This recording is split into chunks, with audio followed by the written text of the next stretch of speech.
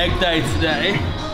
So we got to take every precaution because in my old age of 26, my body is getting fucked and therefore hips are tight, knees are pretty poor, mobility is not great.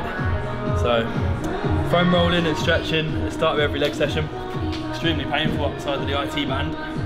Um, but this allows me to get better range of movement on my exercises and also obviously mitigates a lot of the knee pain and back pain that I'm quite prone to. Um, and then once we've got that out of the way, all the boring stuff done, we can crack on. So we're starting with triceps, because generally triceps is a massive weak point for me. So with my push-pull legs rotation, I hit triceps on my leg days as well, just I could top up for my arms because they're pretty shit. Um, so I start with triceps when I'm fresh, and then we're going to move on to some adductor, some single leg laying hamstring curls. There's a good benefit to that movement that I will discuss as we get there. Um, and then the main exercises for our session today are going to be hack squats and leg press. Um, I had two days off over the weekend just to let my knees recover really, so it'll be interesting to see how my body responds after having a bit of time off because it was getting to the point where sessions were starting to really take their toll, my knees were starting to really feel it. So I'm hoping with a bit of mobility work and a couple of days off and a deload week last week as well, I should be feeling a lot fresher, my joints should be a lot better going into today's session. telling me. I'm curious, George. I hop in the Porsche, it's five and a horse. I'm ready for war. I'm coming for throats. To turn to a ghost, I need to know everything. Now you be surprised at the info you get is by letting them talk, so I'm letting them talk. Gotta keep quiet, maneuver in silence to let them in. Talk up their body, another one body. This is Bring up. That's there. Squeeze. Good. And again, slowly come up. That's it. Squeeze. That's it. Always focusing on stretching it out. That's it. And contracting at home as well. Let's go. Push. Good. And again. Actually there. That's it. Push. what you're telling me. I'm curious, George. I hop in the Porsche, it's five and a horse. I'm ready for war. I'm coming for throats. To turn to a ghost, I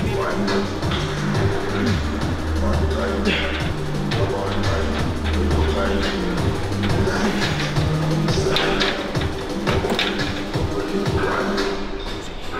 So I like to use the adductors at the beginning of the workout. You get a nice pump in your inner thigh before you go into your bigger compound lifts. It helps stabilize the movement a lot better. Um, we're going to do this with a really, really slow tempo. So we're going to go five seconds on the way out, little pause in the stretch, and a three second squeeze in the center. Never smashing the weights together, controlling the weight, squeezing with the thigh, not just banging the knees together recklessly. Uh, we're going to do two working sets on that. Again, really, really slow tempo, quite a high rep range the machine's actually not that heavy, we have to. Um, then we'll go into some of the fun stuff a bit later on after.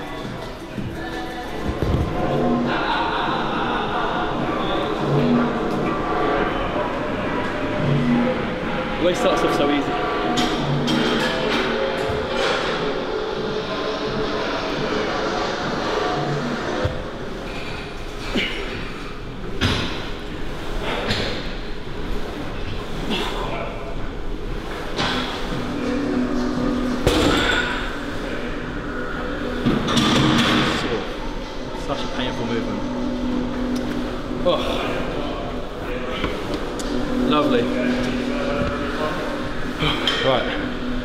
Exercise, we are doing single leg laying hamstring curl.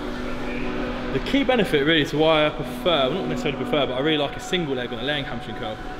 The laying hamstring curl machine, as soon as your pelvis comes up off the pad, you lose a lot of tension in your hamstring. Whereas when you've got single leg going, it almost forces you to keep your pelvis flush against the pad at all times. So you actually get a much stricter movement out of the exercise. So that's why I tend to favour a single leg hamstring curl quite a lot.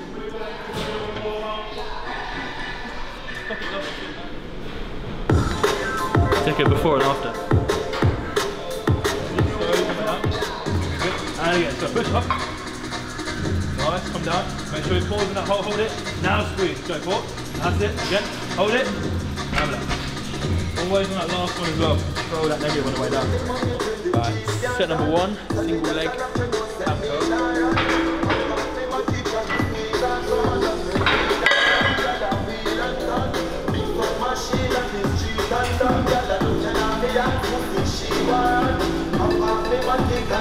Right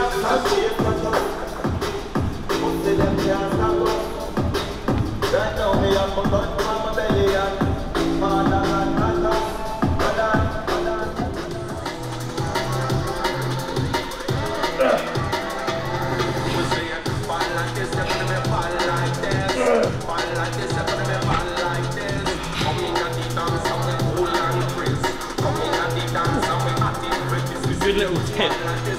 for any single leg or unilateral work is if you've got one side that's slightly stronger, start with the strong side and then whatever you get on the weaker side, take five seconds rest and then get the extra couple of reps or whatever to match the rep range.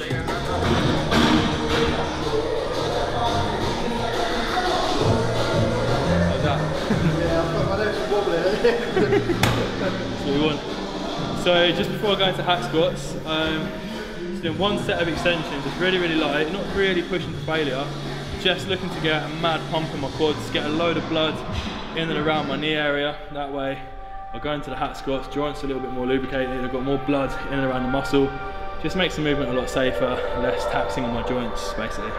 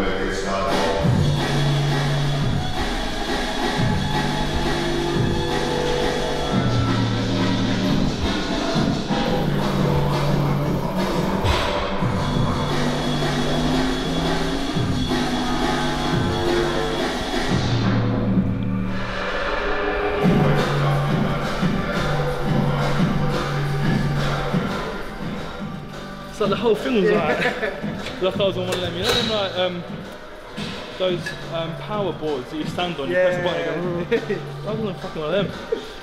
Oh man, I tell you why, it's from doing the adductors and like, the muscles in the adductors like fatigued. Yeah, yeah, yeah. So when you're squeezing, you're still working your adductors a little bit.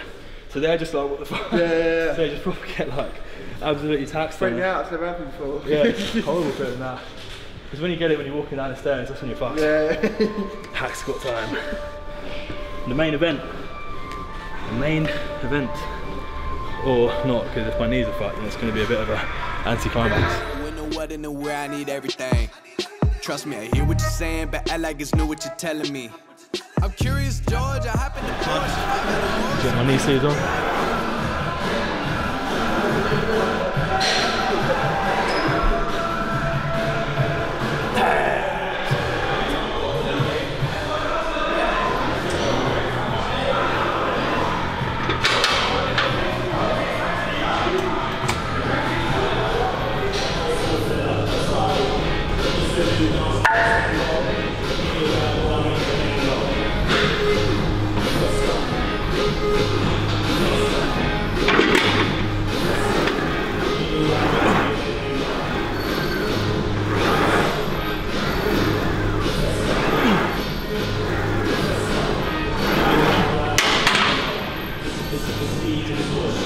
So good. You do? Side, side.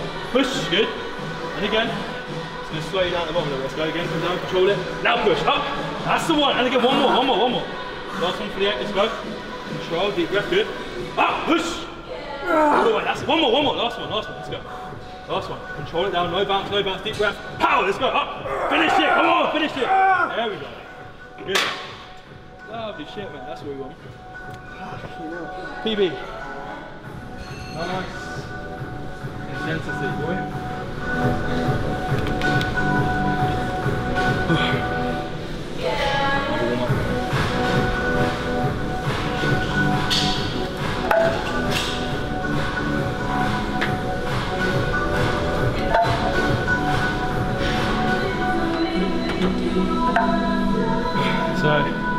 as we get closer towards the working weight, so the weight I'll use for main set, the rep range is dropped right down. So I'll probably just do maybe one or two four plates.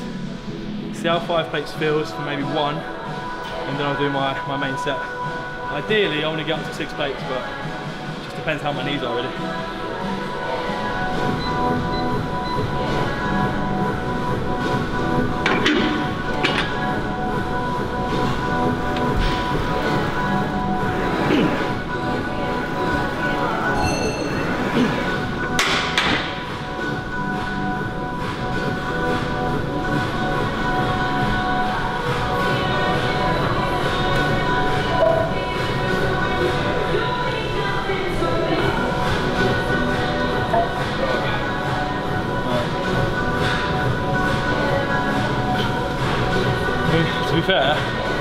Going by that last set, how it felt, I'm gonna work with five plates on my main set. Um, and just slow the reps right down. Add a little pause at the bottom, really control the negatives, uh, which will I mean I won't be able to go as heavy, but the tension on the muscle will be the same, if not more, than if I was to do a heavier set for uh, for slightly quicker reps. So I know I can do six plates. I've done it before, I just feel at the moment I don't really think it's worth the risk of my knees not being the best they are at the moment.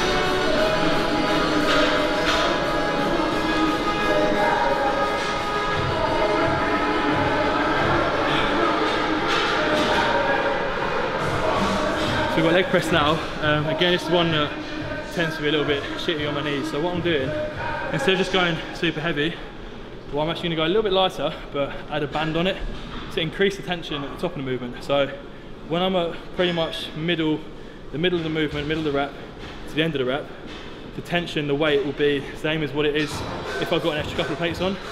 When I'm at the bottom of the rep, where I feel it in my knees the most, there'll be a little bit less tension because the band will be slack. So what I'm doing is essentially putting the load on the, the end of the rep in the, the shortened range where there's less stress on my knee, where it's a little bit safer to overload it. Uh, so just again, it's just more ways that you can use bands to train around an injury or create more tension at different parts of the movement. So at the moment for me with my knees being a bit iffy, it's having to like play around with loads of different ways, various ways of doing certain movements so that I can still get maximum tension on the muscle but without just digging myself into a deeper hole with the knee pain. How's your head, right? Yeah, yeah, it's.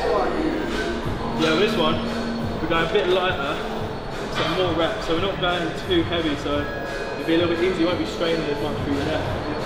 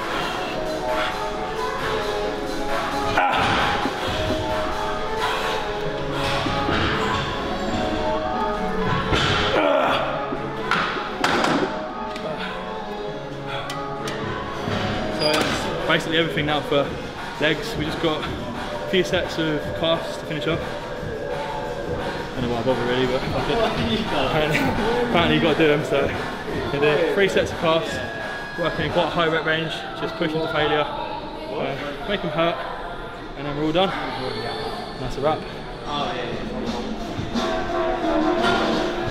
Not even fucking tense I'm so pumped. Painful.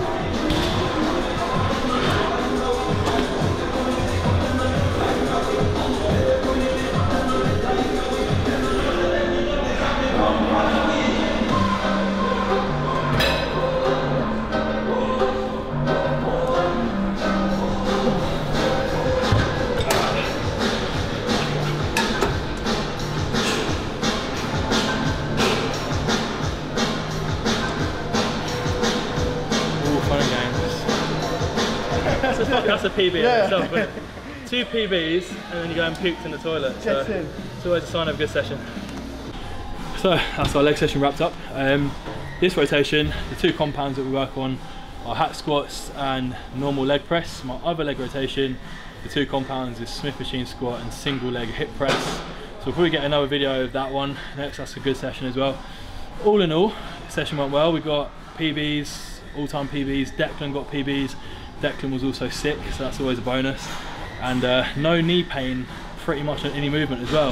Hack squat's a little bit tight, but the uh, leg press, that's pretty much the first time I've done a leg press set in months with like zero knee pain. So definitely found a more favourable foot position on the uh, on the leg press. I think doing it later on in the workout as well helps because by then I can't quite go as heavy as I could early on in the session. Plus, it gives my knees a bit more time to get warmed up as well, so it makes the movement a lot safer. But yeah, all in all, very good session, and uh, stay tuned for the next one.